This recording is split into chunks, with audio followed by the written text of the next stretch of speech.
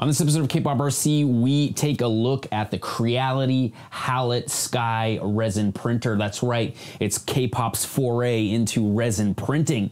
Let's harden that stank.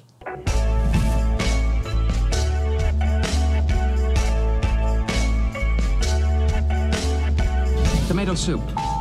We've all dreamed about being able to Star Trek replicate ourselves whatever the hell we wanted. There are 14 varieties of tomato soup available from limited replicator. only by the bounds of our imagination. Coffee.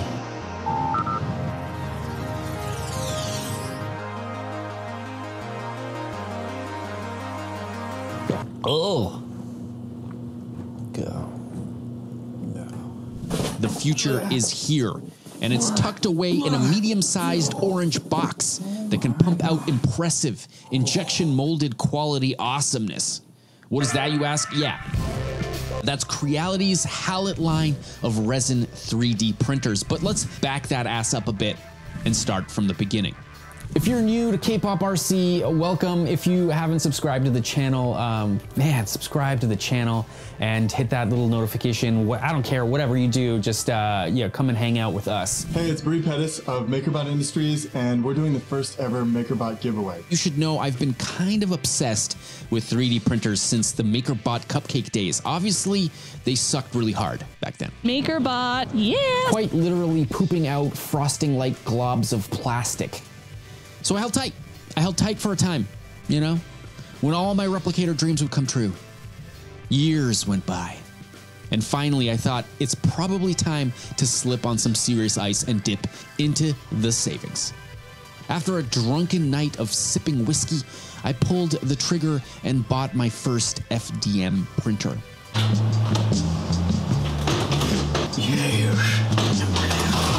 But let's back it up a little bit more. Just a little bit more. FDM printing stands for Fused Deposition Printing. FDM. What does that mean? What does that mean? Well, it's basically a glue gun that spits out a thin layer of plastic along a plane. As it finishes one layer, it moves up and it starts the next, eventually assembling a three dimensional model from the digital realm. The last 10 years has been very fruitful for FDM printing. Lots of options, lots of price points, and Creality has made it extremely affordable to get your feet wet in 3D printing. The link is in the description, but We're not here to talk about uh, FDM printing, though, uh, are we? yeah, we're not we're not here to talk about FDM printing. No. No, we're not. We're talking about the future. This is the Creality Halot Sky.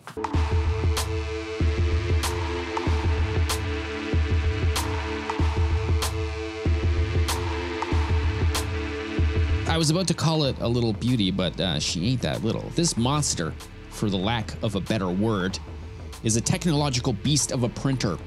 Boasting a large build plate, superior stable Z axis running on linear guide rails, a whole redesigned light source, and just incredibly superior build quality. This this is the machine, man. This is the machine. We talked about FDM printers, so what's the deal with resin printers? The 3D printing technology is called SLA. Sla, sla, sla, I think. Isn't it sla? It stands for stereolithography and it can provide layer thicknesses of up to 0.01 millimeters of layer height. Let's print some shit. I'm freaking pumped, man. I'm freaking pumped. I'm freaking pumped. I'm so freaking pumped. Let's do it.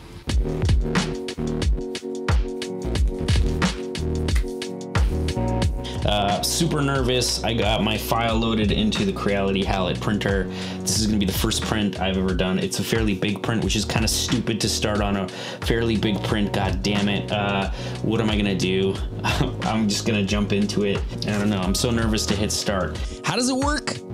Well, this type of SLA printer uses a monochromatic LCD panel underneath the transparent FEP plastic vat of resin. Um, the vat is full, like basically a whole jug like this is what fits into the vat there. There's a little bit left in the jug. Basically, a UV light is blocked by the LCD screen. That LCD screen only lets the UV light through for each layer. Essentially, it's a stencil. The build plate is lowered down onto the clear bottom of the vat, letting a very small amount of resin between the clear bottom and the build plate. I do. I did set up the layer height and the exposure on the Halot um, for the Siraya Tech, you know, navy gray. The UV light is sent through the LCD stencil from the bottom, and boom, it hardens where the UV light hits the build plate. This is repeated over and over again for every layer. Um, I have a funny feeling it's gonna fail, but uh, at least you guys will be along with the ride, the, on the ride with me towards failure. Hopefully it doesn't fail, and hopefully I don't waste a whole bunch of resin, and uh, hopefully it's not a big sticky mess in the end. Um, God damn it, man. All right, wish me luck. Here we go. I'm gonna hit start. There's only one real moving part to this whole setup, and that's the build plate moving up as each layer is hardened.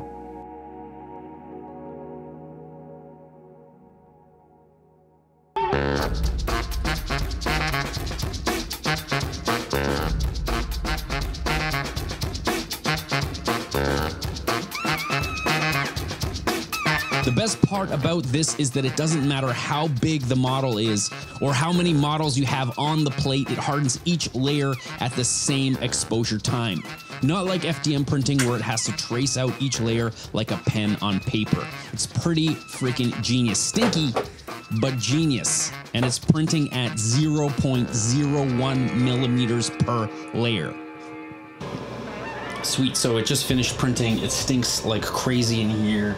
Uh, this Siraya Tech resin is supposed to be low odor, but it is just stunk up the whole house, and Paul is pissed. So it's bad. Um, if you're gonna get a resin printer, just remember that this is not. It's like a. It's just. It's just like their chemicals you're using. So it does stink pretty badly. But what came out of this printer is pretty incredible. So let's check it out. Straight out of science fiction, a true replicator inspiring some serious awe. And what's the best freaking part? Well, it's the it's the parts, man. It's the freaking parts. They are the cleanest, most perfect 3D prints I have ever seen. And all for an affordable price point. Creality has really outdone itself. This thing is a beast.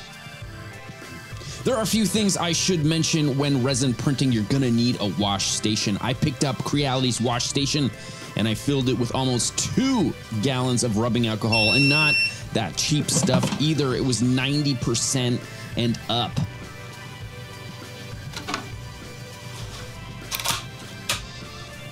That's insane. That's insane. That's insane. That's insane. On top of that, I also purchased a large silicone mat with a spill lip to go under both the printer and the wash station. Gloves!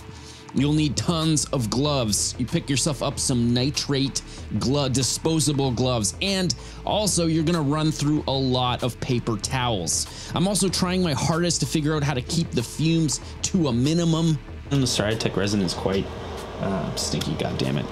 So there will be more videos about the resin printer. I need to figure out a bunch of things with it.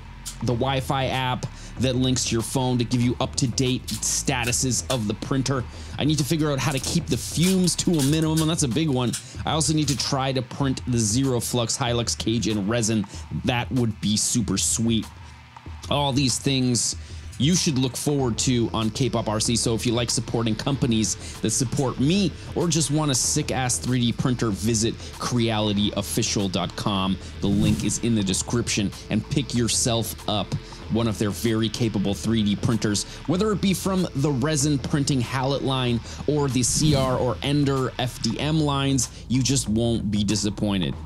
It actually showed up when I was in Whistler and it's been sitting uh, in my front foyer for a solid week while I was on vacation in Squamish hanging out with uh, Mahar, hanging out with Cardinal Racing. And uh, when I got back, I had this thing waiting for me, and it was awesome to unbox it and see this massive scale. I thought, you know, honestly, I thought they were to send me a, the smaller printer, but this one showed up, and uh, it's pretty massive. The print plate is huge. It is huge, and I can't wait to just be printing larger resin prints. which is nuts. But I have to admit, this is my first resin printer. Um, they sent this to me for me to review, and I don't have really much to compare it to. So this particular video, and also probably a bunch of other videos, um, there's gonna probably be a bunch of other videos that kind of you know, document the process of me figuring out how to use this resin printer and how to, you know, get the resin to work for me, work to my advantage. Color me impressed, color me freaking impressed. Good God, it is just otherworldly. It really is. This is like straight out of science fiction. It's like straight out of Star Trek in the 90s.